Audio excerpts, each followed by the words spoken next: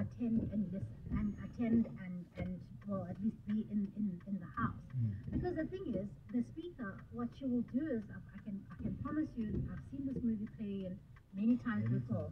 So she's going, the EFF are going to start putting up points of order, talking about Phala Phala.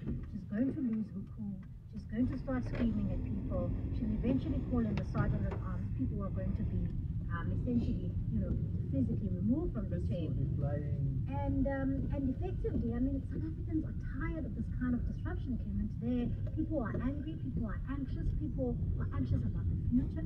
People are plunged into an energy crisis, to a cost of living crisis. The last thing South Africans want to see are politicians um, essentially, you know, being, you know, throwing chairs around and there being a disruption. And so, really, for us as the Democratic Alliance, while we don't have much faith in perhaps what the president is going to say, we respect the institution enough. We respect the people who elected us. We will come to work. We will not participate in the glitz and pomp and ceremony of the red carpet. We will simply come to work and do our job and listen to the president, and then take the president on at the relevant time when it is the debate next week. and hold him accountable for the commitments that, that, that he also makes. One of the questions I asked the listeners this morning is, what is it that the president can say to inspire us, to encourage us as South Africans, and to give us hope in the midst of um, the, the challenges that, that we're facing in the country? What are you expecting as the Democratic Alliance? I don't. I think he's realized now that he must not come here with these big dreams of smart cities and bullet trains. I mean, last year what we saw was he was beginning to give us an update of the commitments he made the previous year.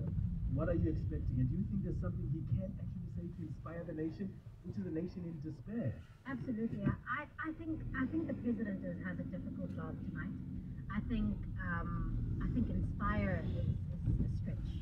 Um, I think right now he is in crisis mode, and what we need today is we're going to need some hard truths. Firstly, about what has gone wrong and what is going to be the first sort of the firstly the, the most immediate uh, steps that are going to be taken in terms of the energy crisis and um, the longer term um, uh, steps. But inspiring, I think the president this is his fifth SONA, and um, I think that the South Africans have actually been quite generous to President Ramaphosa um, and given him a chance many, many times. And I think he's run over of, of, of rope. Um, I think the ANC's run out of ideas. And so I think tonight, the, the only thing that the president can do is to firstly acknowledge that we are here because of mismanagement of this entire energy crisis. Because you see, just because we are experiencing load, I mean, as we speak today, he's going to be delivering a State of the Nation address. There won't be load shedding in the venue, but the rest of South Africans are plunged into stage four load shedding. You won't be able so- to watch him. they won't be able to watch it. And so there has to be an acknowledgement, firstly, that we have for the past decade and a half mismanaged Eskom to the point where now it is at a point where it is at a breaking point. Number two, these are the top five things that we're going to do almost immediately to alleviate the kind of load shedding because we know businesses are closing their doors, people, more and more people are joining the unemployment queues, and essentially the 30 million South Africans who are living in poverty, that number is going to continue to rise. And so really, as I say, he can't come and uh, sing Thuma Mina tonight. He's got to come and literally have a to-do list and be really clear about the fact that this is what's going to happen. It would also help if uh, he would also indicate exactly who's going to what. Because as we sit here, we know there's a, you know, a cabinet reshuffle happening imminently. We don't know if the leader of government business is still Mabuza. Um, and as our job as parliamentarians, and we're not entering into the fray of what the ANC wants to do, but the deputy president has a very important role of liaising between members of parliament and the executive. He's the leader of government business. We don't know who the leader of government business as we stand here today is. And so it would really be useful for him to say, this is my team, these are the things that they are tasked with, and South Africans, we are sorry. I suppose it doesn't help that there's also just policy uncertainty on so many levels and uncertainty about things like, for instance, are we going to hear the declaration of the state of disaster? Because the ANC has advised him that in government he must declare a state of disaster. Is he going to say anything about the Eskom being moved to, to energy? Are you expecting those kind of announcements? Because I imagine he's going to use his big platform today uh, to clarify what the position of government is on those matters. Look, we, we completely reject the declaration of a, of a state of disaster. Um, Isn't that what you called for as the DA? No, we, we call for the reprioritization of money in a ring fenced manner. Because you see, the state, the reason why we were saying ring fence uh, these funds so that you can be able to essentially bolster what, where Eskom is, Yeah. um, is because we wanted a targeted intervention. But Clement, the problem is state of disaster, is what we're going to see is exactly what we saw during the, the COVID-19 pandemic. We're going to see, um, you know, tender processes being essentially subverted. We're going to see the kind of looting that we, we saw during the pandemic.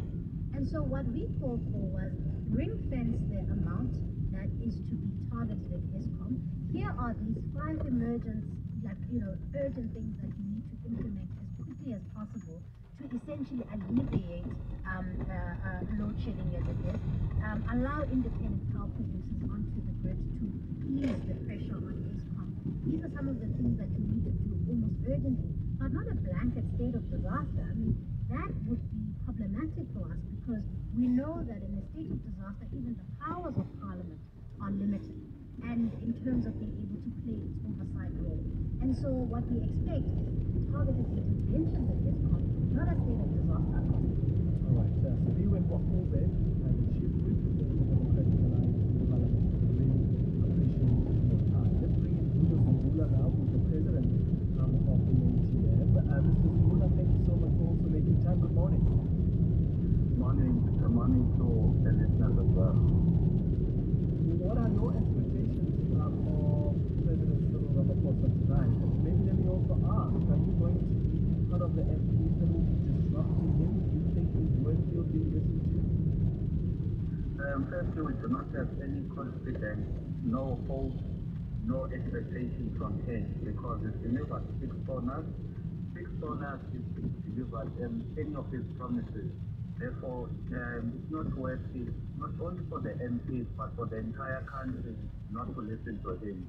Also, I would not call it disruption per se, but it is rather accountability. One of the mechanisms that MPs can use to hold a president that is failing to account because you will recall that this president refuses to answer questions in parliament.